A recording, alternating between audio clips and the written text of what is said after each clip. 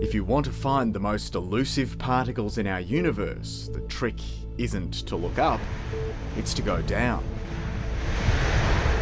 We're in the middle of Japan, heading two kilometres inside Ikeno Mountain, looking for the building blocks of our universe. This is the Super Kamiokande, a $100 million water tank inside an old zinc mine.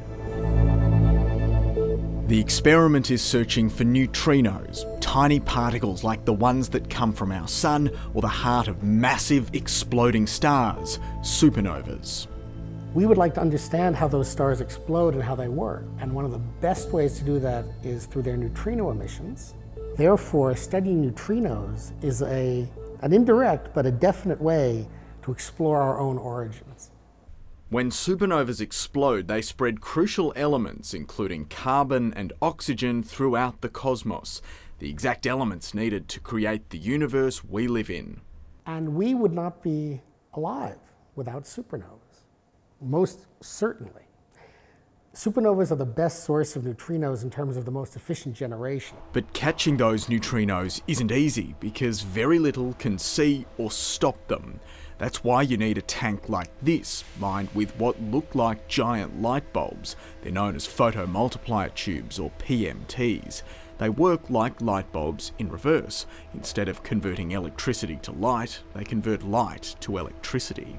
Here we have 11,129 PMTs. It's really, really very sensitive uh, photosensor. So one of these could see a flashlight on Earth from the moon. Yes, right. Wow. it's hard to truly capture the scale of this experiment. It's quite disorientating being in here. But to give you some sense of the size, you could fit the entire Statue of Liberty inside this tank. Normally this would be full of water. When neutrinos slam into the liquid, that's when the giant tubes can see the collision. The water has so many impurities taken out of it, it actually turns corrosive. Given long enough, it can even dissolve metal, something scientists learnt when they dropped a hammer in the tank. A few years later, we were servicing the detector and we found the hammer. And there was a chrome shell, just wafer thin, and the interior was hollow. The water had eaten all the metal out of the hammer Professor Mark Vagins has been leading an upgrade to improve the power of the experiment. Okay, this is my secret underground lair.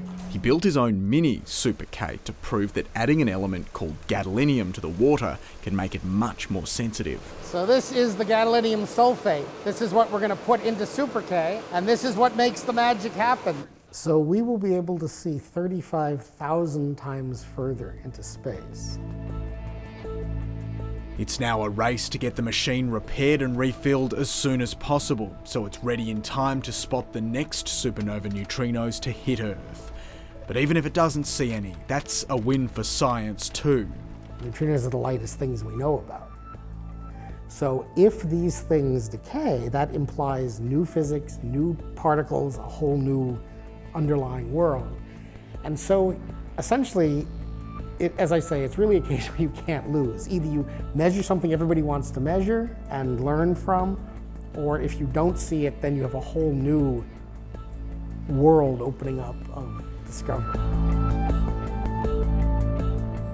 A new world, and perhaps a third Nobel Prize. Jake Sturmer, ABC News, Kamioka.